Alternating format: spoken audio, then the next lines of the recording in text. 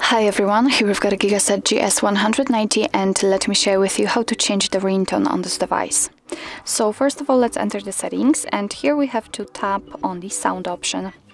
Right now we have to scroll down, tap on advanced and as you can see here we've got three different options which are connected to the ringtone. Here we've got the ringtone for calls, uh, for the notifications and alarms. So let me show you how to change the ringtone using the phone ringtone. Let's tap on this option and as you can see we've just been transferred to the uh, full list of defaultly installed ringtones from which we can choose. What's more at the very top of this option we've got uh, none so it means that uh, after choosing this option your device will won't notify you about any incoming calls, so not sure if it is the best idea.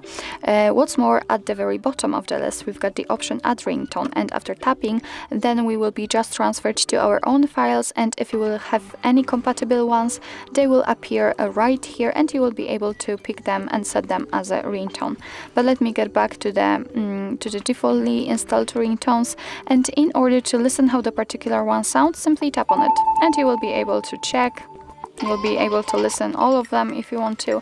And if you're happy with your choice, for example, if you'd like to set this ringtone as your default one, just make sure that it is marked and confirm it with OK. And actually that's all. From now on, your device will use the chosen ringtone. Obviously, it will work the same with the notifications and alarms. Just tap on it. Here you've got the the list of available ones. At the very bottom you've got the option to add your own or none. So actually that's all. This is how to change the ringtone in your Gigaset GS190. Thank you so much for watching. I hope that this video was helpful and if it was, please hit the subscribe button and leave the thumbs up.